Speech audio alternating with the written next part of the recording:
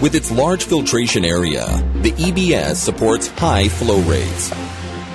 EBS offers a variety of multi-layer screens, providing a wide range of filtration degrees from 800 to 10 micron.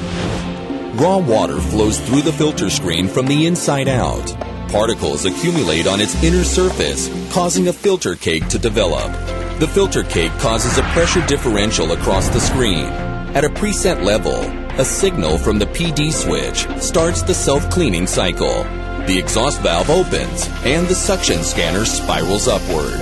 The pressure difference between the water inside the filter and the open flush valve creates a strong suction force through the suction scanner nozzles.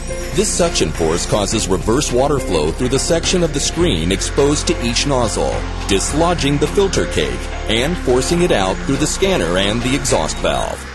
The suction scanner spirals, and the nozzles sweep the entire screen. Once the filter is cleaned, the PD switch returns to the green zone.